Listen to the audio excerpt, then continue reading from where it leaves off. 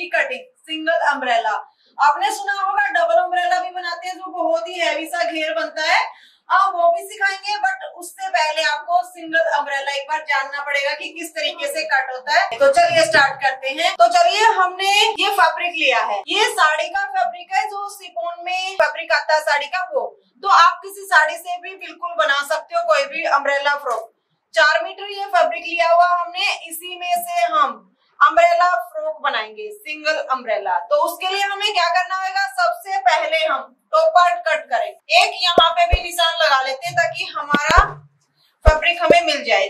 तो इसकी लेंथ हमने रखनी है पंद्रह इंच तो यहाँ से भी सीधी लाइन ड्रॉ कर देते हैं। अब हमने ये शोल्डर लेने हैं। तो शोल्डर हम किस तरीके से लेते हैं? नेक के हिसाब से। तो हमारा नेक है आठ इंच का। आ, बैक नेक के हिसाब से लेते हैं। और हमारे शोल्डर है वो है चौदह इंच के। तो चौदह इंच जैसे कि यहाँ से हो गया पूरा। अब हमारा नेक आठ इंच का है तो वो डीप में है। यानी कि नॉर्मल नहीं है। यहाँ से डायरेक्टली डेढ़ इंच कम कर देते हैं तो टोटल कितना बच गया हमारा? साढ़े पाँच। तो साढ़े पाँच का हम यहाँ से शोल्डर लेंगे। साढ़े पाँच ही हम यहाँ से ले लेते हैं। इसको हम यहाँ से सीधा करेंगे। अब इसके बाद हमने जो आर्म होल लेना, यहाँ से। वो लेना है पौने सात से कुछ पॉइंट कम। अब चेस्ट का जो निशान होता है, वो लगा लेते हैं ऐसे कैसे? साढ़े दस पे एक निशान है अपर चेस्ट का हमारा दस इंच पे है। हाफ़ इंच का फ़र्क है। तो इस तरीके से हमने निशान लगा लिए अब हमने क्या करना है? यहाँ से। जितना हमारा टोटल हुआ है, साढ़े बारह हो गया टोटल हाफ़ इंच कम निशान लगाएँगे नीचे की तरफ़, यानी कि बारह इंच पे। यहाँ से हमने निशान लगा लिया, अब हम सीधा निशान लगा लेते हैं। अब मैंने बताया था कि यहाँ से हमें उठाना होता है। आप एक इंच, डेढ़ इंच जितना मर्ज़ी चाहो, उतना उठा सकते हो। डेढ़ इंच से ज़्यादा तो नहीं करोगे। अब हमें इसको यहाँ से तिरछा मिलाना है। तो हम तिरछा कितने तक मिलाएँगे कि कहाँ तक मिलाएँगे? जितना हमारा डर्ट पॉइंट का साइज़ होता है। डर्ट पॉइंट हम किस तरीके से लेते हैं? यानी कि डर्ट की चौड़ाई हमें यहाँ से कितनी लेनी है? साइज़ के अकॉर्डिंग कि नॉर्मल साइज़ में हम साढ़े तीन लेते हैं, थोड़ा सा उससे हैवी है, पौने चार और हैवी है चार, साढ़े चार तक। तो यहाँ पे हम पौने चार का एक निशान उठा लेते हैं। पौने चार का हम यहाँ से भी एक निशान उठा लेते हैं। अब हमने क्या करना है? इस निशान को यहाँ पे मिला के छोड़ना है। अब हमने क्या करना है? यहाँ से राउंड शेप देनी है, कुछ इस तरीके से। राउंड शेप का भी एक बार समझा देते हैं कि हम किस तरीके से देते हैं। यहाँ से, जैसे कि मान लीजिए चार इंच हो गया आपका हाफ़ करेंगे। दो इंच लेकिन मैंने एक चीज़ और बताई है कि अगर आपका नेक डीप है तो हम हाफ़ से भी इधर लेंगे थोड़ा सा याद है सबको? तो अब हम इस निशान को यहाँ से ऐसे सीधा कर लेते हैं। और यहाँ से राउंड शेप दे देते इस तरीके से। तो ये हमारा बैक हिस्सा हो गया। अब यहाँ से डाउन करेंगे। डाउन भी हम ज़्यादा नहीं कर रहे क्योंकि हमारा ये जरा सा ही आ, मतलब बड़ा ही नेक है छोटा नहीं है तो इसलिए हमने जरा सा डाउन किया। है अब हम इसकी कटिंग कर लेते हैं।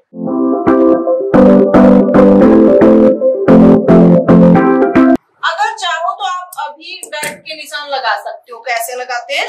मैंने बताया था पौने चार चार हमने यहाँ से लिया है। लेंथ हम लेंगे डर्ट पॉइंट के हिसाब से। कि आपका जो डर्ट पॉइंट वो कितने पे आ रहा है? तो वो आपका ग्यारह पे आ रहा है तो साढ़े ग्यारह पे हम ये निशान लगा लेते हैं, इस तरीके से। और यहाँ से इसको सीधा कर देते हैं। इस तरीके से हमें हाफ़ हाफ़ इंच या पौना इंच साइज़ के अकॉर्डिंग ये डर्ट डालनी होती है। तो हमारा फ्रंट हिस्सा कट हो चुका है। अब हम बैक हिस्सा भी सेम इसी तरीके से फोल्ड करके कट करेंगे। हाँ सो ये देखिए। हमने बैक एंड फ्रंट दोनों कट कर लिए हैं। हमने जितना डाउन किया था, उतना ही बैक से उठाया है। तो अब हम फ्रंट से सटाई भी कर देते हैं। हाँ यहाँ से कुछ इस तरीके से ऐसे राउंड शेप देंगे। आप जैसे कि कई बार पूछते हो कि यहाँ से हमें अंदर कितना लेना होता है? तो वही बात फिर से सब में अंदर नहीं लेना होता। अगर जैसे कि अब हम यहाँ से अंदर लेंगे तो बहुत ही डीप हो जाएगा। साढ़े पाँच ही शोल्डर है। इसको हम यहाँ से सटाई कर लेते अब हम इसका नीचे का घेर कट करें। तो उसके लिए हम सबसे पहले एक्स्ट्रा जो फैब्रिक है, हमारा टॉप पार्ट कट करने के बाद इसको कट कर देते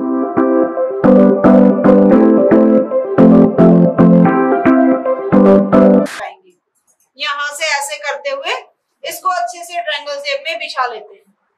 सो so, हमने इस तरीके से ट्रायंगल शेप में इसको बिछा लेना है। अब हम इसकी थोड़ी सी लेंथ का आइडिया देंगे आप। आप मान लीजिए इस कॉर्नर से माप के दिखाते हैं आपको। अब ये लूज बिछा हुआ है।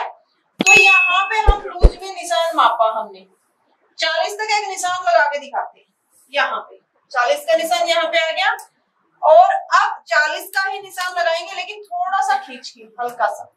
हाँ हल्का सा खींच के अच्छे तरीके से बिछा के फिर लगाएँगे। तो उसी कॉर्नर से हम फिर से आपको एक निशान लगा के दिखाते हैं। ये आपको समझाने का एक तरीका है कि यहाँ से हम इसी कॉर्नर से चालीस पे निशान लगाएँगे। सो ये देखिए। हमारा थोड़ा सा लूज बिछाने से और थोड़ा सा खींचने से कम से कम पाँच छह इंच का डिफरेंट हो गया। तो आपने क्या करना है? हल्का सा इसको खींच के बिछाना। ज़्यादा नहीं खींचना, नहीं तो ऊँचा हो जाएगा। थोड़ा सा ऐसे मतलब अपने तरीके से ये बिछ जाए बस।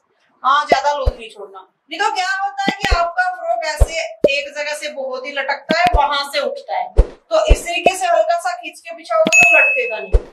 अब हम इसके टॉप पार्ट को देखते हो कि हमारी कमर कितनी है, यहाँ से कट कर लेते हैं।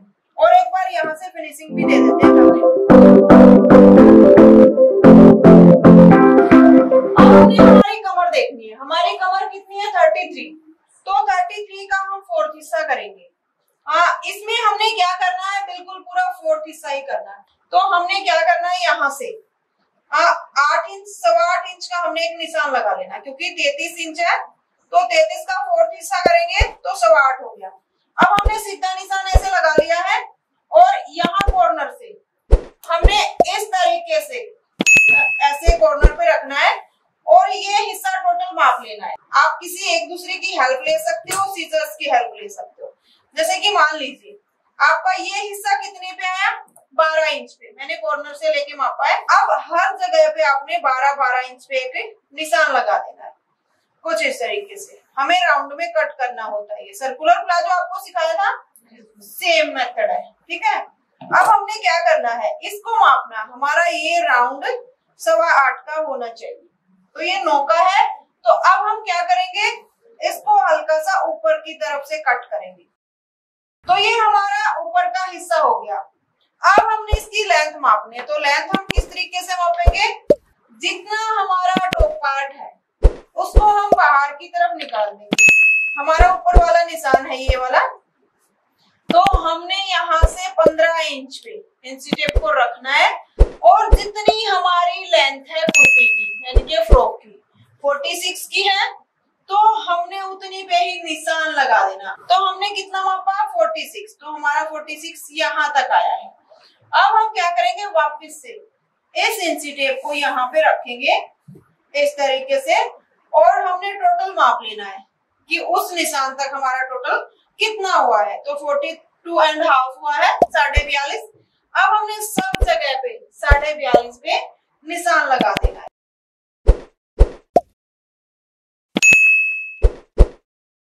अब इस तरीके से हमने निशान लगा लेना अब ये देखिए जैसे कि मान लीजिए इसमें तो आपका बचा है एक इंच ही एक्स्ट्रा ये बहुत ही डिटेल से समझने वाली बातें हैं। अब जैसे कि मान लीजिए, आपका ये निशान तो यहाँ पे डेढ़ इंच एक्स्ट्रा बचा है अब मान लीजिए इतना सारा फैब्रिक एक्स्ट्रा बचा तो जो नीचे तक है, और डबल में। तो आप क्या करोगे उसको? ये चीज़ ऊपर से लेने की बजाय फिर वो घेर ज़्यादा खुला करोगे, क्योंकि जितना नीचे खुला दिख रहा है, उतना खुला होता चलेगा, ऊपर चलो उतना ही कम होता चल रहा है। तो फिर हम उसमें क्या करते यहाँ से चौड़ाई बनाते और ये चीज़ है जो वो यहाँ से लेते और यहाँ तक कमर आ रही है, ऐसे तिरछा कर देते इसको इस तरीके से नीचे से कट कर लेते हैं कि जब हमें थोड़ी सी और चौड़ाई मिल रही है तो क्यों ना हम नीचे से ही उसको कट करें। ये चीज़ ध्यान रखना यहाँ से। ठीक है? अब हम यहाँ से क्या करेंगे? थोड़ा सा इसको भी नीचे से कट कर लेते हैं। अगर लॉन्ग ही लेंथ बनानी तो यहाँ से ही कर सकते हो, वरना इसको भी थोड़ा सा नीचे से सरका लेते हैं। समझ आ गया सबको? अब हम क्या करेंगे? यहाँ से। अगर आपको मान लीजिए पूरा ही चाहिए तो अब माप लीजिए आप यहाँ से। कि आपको चाहिए, मान लो साढ़े आठ। हाँ सौ आठ था, साढ़े आठ कर देते हैं। इस तरीके से तिरछे में इसको कट करेंगे। एंड तक बिल्कुल मिलाना है आपको। ऐसे। तो ये हमारा जो फ्रॉक है, उसका घेर बन गया। अब हमने क्या करना है, यहाँ से इसको नीचे करके, जैसे कि टॉप पार्ट रख के दिखाते हैं। कुछ इस तरीके से। अब ये देखिए, जैसे कि हमने जब लिया है तो इसमें आपको एक्स्ट्रा नहीं दिख रहा। आप सोच रहे होंगे, ये तो पूरा पूरा ले दिया फिटिंग का जो ज्वाइंट वाला हिस्सा, वो कहाँ से आएगा? तो एक तो हमें मान लीजिए इसमें डार्ट डालनी है तो डार्ट डालेंगे तो ये कुछ तो श्रिंक यहाँ से ऐसे हो गया।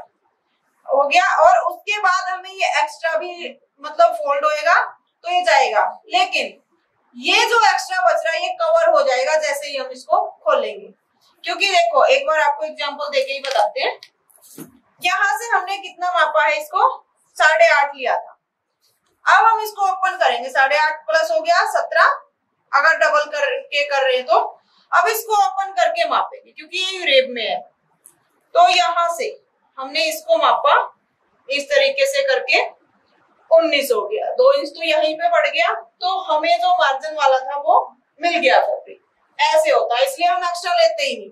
क्योंकि वेरेब होता है, वो ऑटोमेटिक ही निकल के आ जाता है। तो सबको समझ आ गया ये फ्रॉक कैसे कट किया? अब हम इसकी स्लीव्स भी एक बार कट कर लेते हैं। हाँ तो सुनिए, देखिए, हमारे पास जो फैब्रिक बच गया था नीचे वाला घेर कट करने के बाद तो उसमें से हम स्लीव्स कट करेंगे। इसको हम ऐसे फोल्ड कर देते हैं। यहाँ से कुछ इस तरीके से। लेंथ मापनी है कि हमारी लेंथ कितनी बन रही है। तो यहाँ से हम देखेंगे कि हमें चाहिए 21 इंच की लेंथ तैयार। है आगे हमने बॉर्डर लगाना है तो हम 22 इंच ही तैयार रखें। ऊपर की तरफ़ हमारा ये फैब्रिक थोड़ा सा डिफेक्ट है तो हम यहाँ से ले लेते हैं लेंथ हमें 22 इंच चाहिए, यहाँ से सीधी लाइन ड्रॉ कर लेते हैं। और इस तरीके से ये हमारी सीधी लाइन हो गई। यहाँ से हमें डाउन देना होता है। इस तरीके से हम राउंड दे के सिंपल जो स्लीव्स कट करते हैं वैसे कट का निशान लगा लेते हैं। मोहरे आपको जितनी चाहिए उसके अकॉर्डिंग ही आप एक निशान लगा लीजिए। अब यहाँ से सेपर फटे की हेल्प से सीधी लाइन ड्रॉ कर देंगे और इसकी कटिंग कर लेंगे। यहाँ से हमने एक कट लगा देना है, इसकी चटाई हम बाद में करेंगे, क्योंकि कई बार क्या होता है इक्वल फैब्रिक होता है तो उसमें हमें पता नहीं चलता उल्टे सुलटे का। तो उसके अकॉर्डिंग आप बाद में छटाई कर सकते हो जब आप ये बॉर्डर वगैरह रेडी करो। तो हमारा जो फ्रॉक है, वो कट के कंप्लीट हो गया है। हाँ तो चलिए अब हम इसकी आपको स्टिचिंग दिखाते हैं। उसके लिए हमें क्या करना होगा सबसे पहले हमें टॉप पार्ट रेडी करना होगा हाँ सो ये देखिए, हमने इसका इनर भी कट कर लिया है। मेन पीस कट किया था हमने इनर भी ले लिया सेंटून में इनर लिया हमने इसमें, ताकि थोड़ी अच्छी साइन रहे।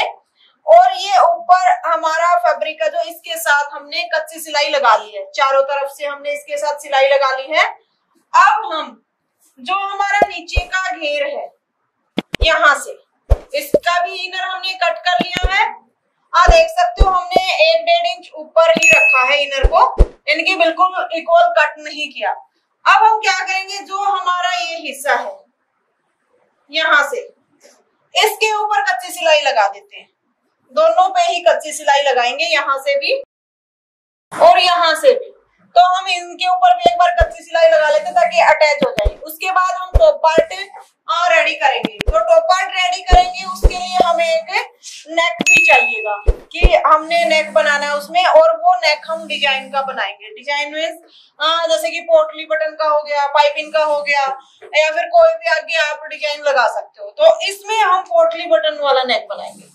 तो वो कैसे बनाते हैं, पहले एक बार आपको कट करना बता हाँ कोई भी सेप दे सकते हो आप। जैसे कि बोट नेक में डिज़ाइन दे सकते हो। अब हमने शोल्डर ले रखे हैं डीप नेक के अकॉर्डिंग तो ये देखिए हमने बुकरम का पीस लिया है, डबल में हमने लिया हुआ है। अब इसमें से हमने वो नेक कट करना है। तो हम किस तरीके से कट करेंगे ये देखिए। यहाँ से हमने ब्रॉड कितनी लेनी है? ढाई इंच की, तीन इंच की, वो आप अपने अकॉर्डिंग ले सकते हो। तो हम इनकी जो ब्रॉड है, वो पौने तीन इंच की ले रहे हैं अब हमने नीचे की तरफ़ की कितना हमें नेक की लेंथ चाहिए, यानी कि डीप हमें कितना चाहिए? सात, साढ़े सात, उतने पे एक निशान लगा लेते हैं। तो यहाँ से हम ऐसे स्क्वेयर बनाएँगे, जो मैंने पहले बताया हुआ है। इस तरीके से आप इसको राउंड में ऐसे कर दीजिए। जो हम पोटली बटन वाला नेक बनाएँगे और राउंड में ज़्यादा फिनिशिंग में आता है। वैसे आप बना सकते हो दूसरे तरीके से भी। अब हमें नीचे कितना चाहिए? यहाँ से नीचे। तो हम हमारे टॉप पार्ट को माप लेंगे। टॉप पार्ट हमारा कितना है? सोलह इंच का लगा के चलते हैं। नीचे से कट कर देंगे, कोई दिक्कत नहीं।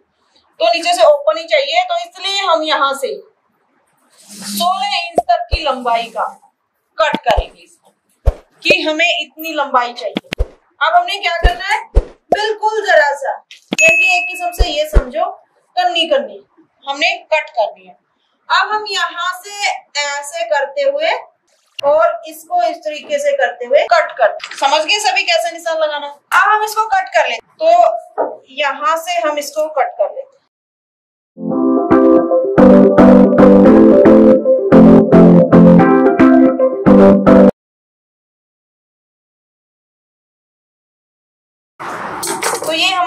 कट के रेडी हो गया अब हम हाँ जैसे कि इसको ऐसे कैसे सीधा भी रख सकते हैं। इसमें हमें नीचे की तरफ़ कट करना होता है।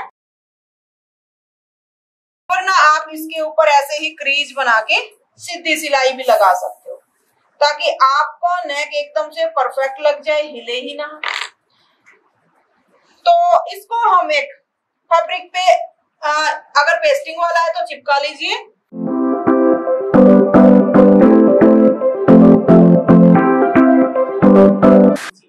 तो हम एक्स्ट्रा फैब्रिक लेंगे और इसको सिलाई से स्टिच कर देंगे।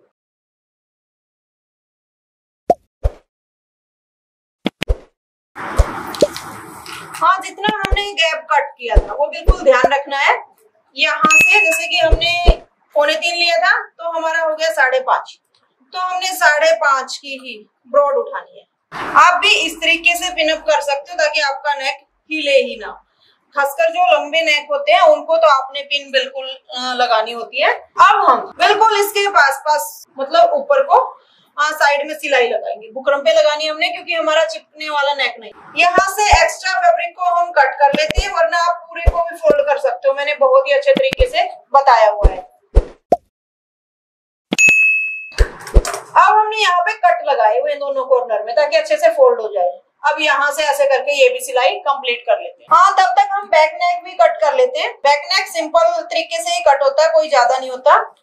आप डिज़ाइन कुछ देना चाहो, वो अलग चीज़ होती है। अगर सिंपल कट कर रहे हो तो आप कैसे भी कट कर सकते हो। हम, हमारे पास बुकरम कम हो तो हम इस तरीके से भी ज्वाइंट लगा के कट कर सकते हैं। हमें क्या चाहिएगा? जैसे कि हमारा जो ज्वाइंट है, यहाँ तक लगा हुआ है। पौने तीन पे। हमने एक निशान लगाया। यहाँ से लेंथ हाँ मान लीजिए आप साढ़े आठ, नौ जितना भी रखना चाहो रख सकते हो। और इस तरीके से ऐसे हम डिप नेक बना देते हैं। तो यहाँ से हम इसको कट करेंगे।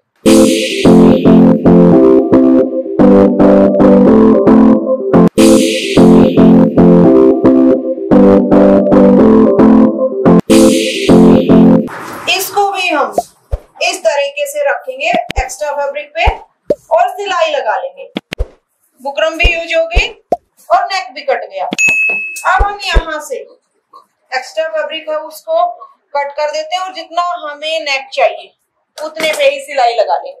अब जैसे कि आप देख रहे हो, इसकी बोर्ड बहुत ज़्यादा ओपन दिख रही है। आपने इतनी पे सिलाई नहीं लगानी, ध्यान रखना।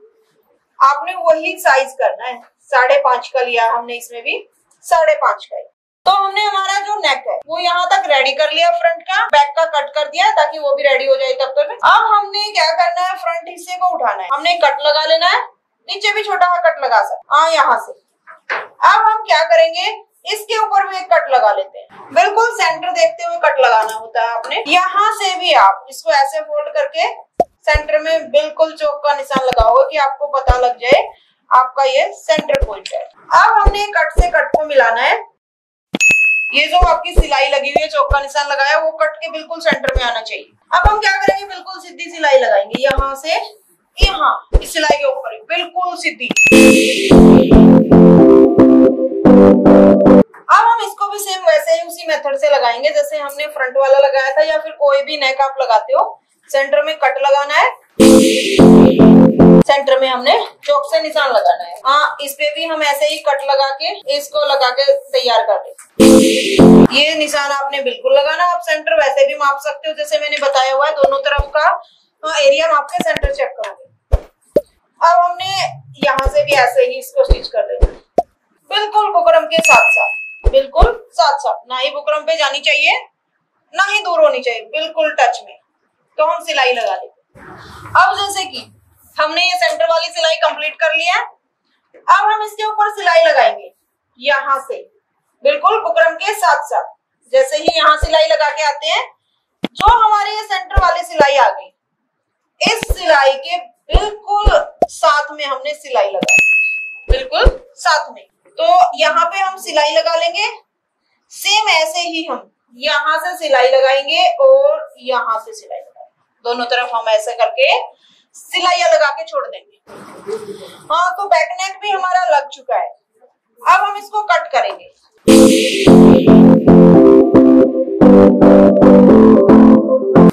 हाँ लेकिन कट लगाओ तब ध्यान रखना है कि कट आपकी सिलाई पे ना चला जाए। हमने इस तरीके से इसको रेडी कर लिया अब हम इसको अभी स्टिच नहीं करेंगे शोल्डर ना ही नीचे फोल्ड करेंगे। हमने इसके शोल्डर कैसे स्टिच करने होते हैं, इस तरीके से खोल के। फ्रंट का भी इस तरीके से ही खोल लेंगे। और एक दूसरे के ऊपर ऐसे ओवरलॉक करके, जैसे कि कुछ इस तरीके से। ये फ्रंट का हो गया, मान लीजिए। ऐसे ओवरलॉक करके और ऐसे में सीधी सिलाई लगाई इस तरीके से हम सिलाई लगाते हैं, ताकि फिर वो गुम हो जाए, हमारी सिलाई। तो इसको अब हम अंदर की तरफ़ नहीं पलटेंगे जब तक हमारा बैक फ्रंट हिस्सा रेडी नहीं होगा। सेंटर से कट करें। बिल्कुल सेंटर से हमने इसको कट कर देना। अब आपने ध्यान रखना कि आप नीचे से कहाँ से कट करें जो हमने सेंटर में सिलाई लगाई हुई थी, वो सिलाई कट कर देनी है। जो हमने सबसे पहले लगाई थी, वो सिलाई हम कट कर देंगे क्योंकि हमारे आप ये पीस यहाँ से इक्वल आए हैं। अगर हम वैसे लगाते इसको अलग करके, ऐसे भी आप जोड़ सकते हो। बिल्कुल जोड़ सकते हो, पहले कट करके और ऐसे सिलाई आप लगा सकते हो।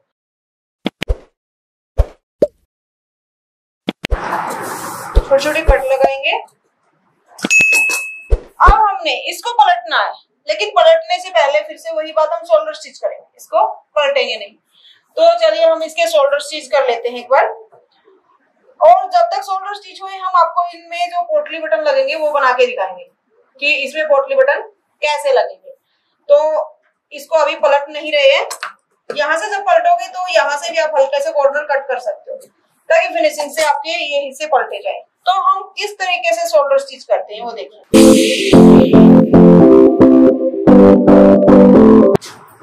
हाँ ये हमने पोटली बटन बनाए हुए तो हम बनाते किस तरीके से, वो बताते हैं आपको। पोटली बटन एक तो हमारे सभी इक्वल साइज़ के होने चाहिए। हाँ पोटली बटन हम थर्माकोल से भी बना सकते हैं, मोती से भी बना सकते हैं, इनके पर्ल से। और किसी भी फोम वगैरह से भी बना सकते हैं फैब्रिक से भी बना सकते हैं। तो आप किसी भी तरीके से पोटली बटन बना सकते हो। और आजकल बहुत ही ज़्यादा ट्रेंड में है इनके डिज़ाइन बहुत ही सुंदर लगते हैं। तो हम कैसे बनाएँगे? जैसे कि कत्तर से ही लगा के चलो। थर्माकोल की जो गोलियाँ आती है, वो प्रेस लगाते हो, चिपक जाती है तो वो सही मतलब इतनी रहती नहीं। जितनी आप फैब्रिक वाले बनाओगे तो बनेगी। एक तो आपने ध्यान रखना, जिस फैब्रिक के आप पोटली बटन बनाओ, उसके अंदर सेम उसी कलर का फैब्रिक होना चाहिए। क्योंकि कई बार क्या होता है, जैसे कि मान लीजिए हम बना रहे हैं इस कलर की। तो इसमें हम डाल दें ये कलर तो शेड चेंज होगी। अब ये तो जैसे कि दूसरा वैसा फैब्रिक है तो इसमें तो दिक्कत नहीं आ रही, लेकिन दिक्कत आ सकती है। इसलिए आपने क्या करना है? बिल्कुल छोटी छोटी बारीक सी कतरे कट कर। उसी फैब्रिक से आप कट कर सकते हाँ। मान लीजिए इस तरीके से। कितनी भी आप कट कर दीजिए। यहाँ से ये छोटी छोटी कतरे हैं, इनको इकट्ठा करना है। इस तरीके से एक रोल बना हाँ गोली के जैसे। तो आप इस तरीके से बनाओगे। हाँ साइज़ इक्वल होना चाहिए आपका हाथ का। जैसे कि आप एक बार बना रहे तो सीधी सी बात है, दूसरे टाइम भी आपके हाथ में उतना ही साइज़ आएगा। अब हमने क्या करना है? ये फैब्रिक उठाना है। तो हमने इस तरीके से, जो हमने राउंड राउंड में हिस्सा तैयार किया था, उंगली हमने अंदर ही रखी हुई है। इस तरीके से हमने इसको पकड़ के रखा। नेल्स की हेल्प से हमने इसको दबा देना। अब हम क्या करेंगे? जो हमने ये यहाँ से ऐसे टाइट पकड़, धागा लेंगे और धागे को इस तरीके से पकड़ लेंगे। हम धागे को जब उंगलियों के बीच में ऐसे पकड़ते हैं तो बहुत ही जल्दी पोटली बटन रेडी होते हैं और बहुत ही स्पीड से भी होते हैं। इस तरीके से हमने दो तीन बार करके लपेट। तो हमारे पोटली बटन इतने लंबे तो हमने कट करने ही। है, जैसे कि ये स्टूडेंट्स ने ही बनाए हुए हैं। तो ये इसमें कहीं कहीं ज़्यादा धागा है। तो इसमें मशीन चलने में थोड़ी दिक्कत हो। थोड़ा कोशिश करना, कम धागा ही लपेटो, ताकि मशीन अच्छे से निकल जाए। अब उसके बाद आपने क्या करना, इस तरीके से पोटली बटन को लेना है और ऐसे दबा लेना है। हाँ जैसे ही इस तरीके से दबाओगे तो आपका फ़ोटो बहुत ही फिनिशिंग से लग गया है। अब इसी में जैसे कई बार आप बोलते हो कि पाइपिंग निकालनी है इसके बाहर को। पाइपिंग आप कैसे निकालते हो? जो डोरी होती है डोरी। मान लीजिए ये आपने लुपी निकाली हुई है। तो हम क्या करते हैं, उस लुपी को इस तरीके से बाहर की तरफ़ लपेटते हैं, यहाँ से ऐसे, और इस तरीके से। फिर से हमने क्या करना ये डोरी, समझिए आप, इसके ऊपर फिर से हमने धागा लपेटना है आपने ऐसे ही नहीं लगा के छोड़नी। ऐसे धागा लपेटना है। और ऐसे अलग करके इसको यहाँ से फिर से कट कर देना। हाँ तो हमने ये इस हिस्से को उल्टा रखा हुआ है। आपको दिखाते हैं कि हमने शोल्डर कैसे स्टिच यहाँ से सिलाई लगाइए दोनों। जब आप सिलाई लगा रहे हो ज्वाइंट से ज्वाइंट मिलना चाहिए। अब हम इसको इस तरीके से टर्न कर देंगे और पूरे पे कच्ची सिलाई लगा इस तरीके से करते हुए नीचे की तरफ़ हमने ये कॉर्नर भी अच्छे तरीके से निकाल लेना है। किसी भी पेचकस की हेल्प से। बैक में भी साथ में ही चलेंगे। आप दिखाते हैं आपको जैसे कि हमारा ये हिस्सा गुम किस तरीके से होता है। यहाँ से ऐसे गुम हो जाता है। तो इसके ऊपर हम पूरे पे सिलाई लगा देंगे। तो चलिए हम एक बार ये कच्ची सिलाई कंप्लीट कर ले। हमारा जो टॉप पार्ट है, यहाँ तक रेडी हो गया है। बहुत ही सुंदर सा लुक आया है। अब हमने लगाने से पोटली बटन। तो पोटली बटन आप दो तरीकों से लगा सकते हाँ। जैसे कि इसको अगर मान लीजिए आपने गुम करना है तो गुम कैसे करो जो हम यहाँ से राउंड लगा रहे वहाँ तक सिलाई लगाइए, उसमें आपको सेंटर में पहले कट करना पड़ेगा, ये ध्यान रखें अगर गुम कर रहे हो तो सेंटर से कट करना पड़ेगा। तो आप उसमें क्या करोगे? पहले, मान लीजिए आपने यहाँ से कट किया हुआ है, यहाँ तक बुकरम की वो सिलाई लगा के लेके आओगे, छोड़ दोगे यहाँ पे, इस नेक को, छोड़ दोगे यहाँ पे। उसके बाद आपने सारे पोटली बटन साइज़ देख के इस तरीके से लगा लेने साइज़ देख के इस तरीके से पूरे पे लगा लेने उसके बाद जो आपने नेक छोटा हुआ है उसको इसके ऊपर रखोगे और ऊपर से सिलाई लगा दोगे। यहाँ से। हाँ इस तरीके से लगाएँगे। सभी पोटली बटन को ऊपर वाला थोड़ा ऊपर की तरफ़ रख लेना। हाँ इतना इतना गैप कर देना। थोड़ा हाँ इनको दबाना सीजर से ताकि वो पहले वाला दबा हुआ जो। ऐसे सिंगल फुट लगा के हम पूरे पे ये पोटली बटन सेट कर देते हैं। पूरे पे सिंगल सिंगल में हमने मान लीजिए पोटली बटन लगा दिए हैं आ, सिंगल फुट अब हम क्या करेंगे नीचे?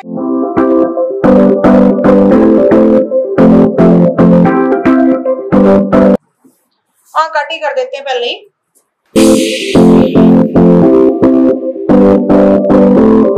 अब हमने क्या करना है इसको यहाँ से सिलाई लगानी है चाहो तो यहाँ से भी लगा सकते हो और इसको पलट लेना फिर सिलाई लगा के पलट लेना उसके बाद आपने जैसे ही आपके पोटली बटन लग चुके हैं पहले आपने इसको यहाँ से जैसे कि फोल्ड करके इधर वाली सिलाई लगानी है। तो ये वाली सिलाई लगा के फिर हमारे जो पोटली बटन जुड़ चुके हैं, वो रख के फिर वो सिलाई भी पक्का कर देंगे। हमारा नेक तैयार हो जाएगा। कट लगाएँगे जैसे कि सेंटर में। तो आप डट का निशान भी लगा सकते हो कट को देखते हुए। साढ़े तीन पे, साढ़े तीन पे या पौने चार पे जितनी भी आपने डालनी है। पीछे वाली हम चार, साढ़े चार पे डालेंगे। और आगे वाले भी हमने जो निशान लगाए साढ़े तीन तीन पे कर सकते हैं, क्योंकि हमारा दबने में भी चला गया मार्जिन तो साढ़े तीन तीन पे निशान लगा के जितना डट पॉइंट आ रहा है वो निशान लगा के आप डट डाल लीजिए।